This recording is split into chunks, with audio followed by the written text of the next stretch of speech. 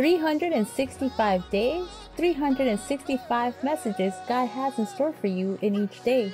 Great is Our God, written by Fernando Zabala. Come, join us. Let's see what God has in store for you. Hello, friend. We're so glad that you joined us today as we begin a new month. Today is June 1st, 2022. Today's devotional is titled Seeing Possibilities. Our scripture for today is found in the book of Luke, chapter 19, verses 10. And it says, The Son of Man has come to seek and to save that which was lost. Let us speak to our Creator. Dear Heavenly Father, thank you for this day. Thank you for the opportunity to have this moment again with you. We ask, Lord, that you open our spiritual senses so that we can hear, feel, and understand your word today. We invite your Holy Spirit to be with us. In Jesus' name we pray. Amen. What more could Freddie's parents do? They had already tried everything to save their son from a world of crime. What resources could they use to deliver him from the irresistible compulsion to steal? Mark Finley, a renowned author and international speaker, tells the following story. Freddie was only 10 years old and was already known for stealing from local stores. Meanwhile, his desperate parents had tried every possible option punishment, bribes, rewards, psychologists, all to no avail. Then they learned that Miss Shaw, an elderly woman, might be able to help.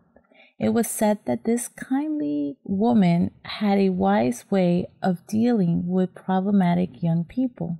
So they spoke with her, and she agreed to help them. Freddie begrudgingly agreed to visit the elderly woman. When he knocked on her door, the first thing he saw was Mrs. Shaw's sweet face. Freddie, I'm so glad you're here, she said lovingly.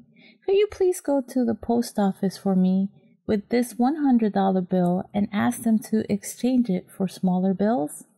Freddie could not believe his ears.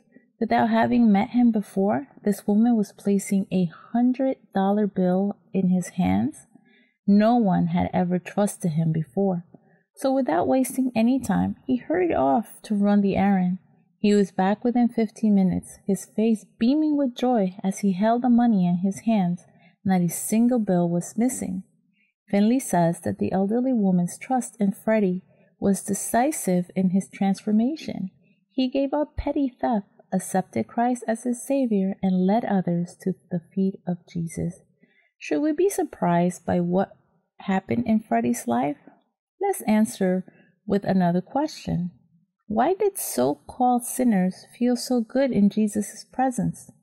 Because, as Ellen G. White affirms, in every human being, Christ discerned infinite possibilities, according to the book Education, chapter 8, page 80.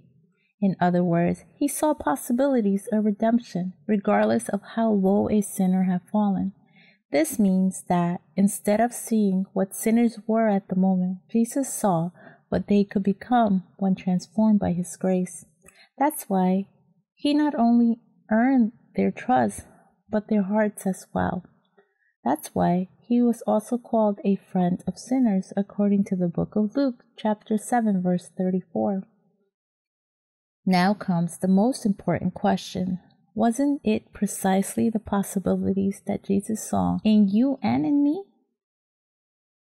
Before we saw him, he saw us. Before we loved him, he loved us. Before we accepted him, he accepted us. Isn't that wonderful? As we meditate in today's devotional, let us close with a prayer. Thank you, dear Jesus, for seeing in us what no one else ever saw the possibility of redemption. Help us to live according to your will and to also see the possibilities in others as well. In your name we pray. Amen. We're glad that you joined us today for the devotional. We pray that it has been a blessing. Our prayer is that God blesses you, that His presence is with you throughout this day, and that His love embraces you in every area of your life. We'll see you again tomorrow. Have a blessed day. Bye.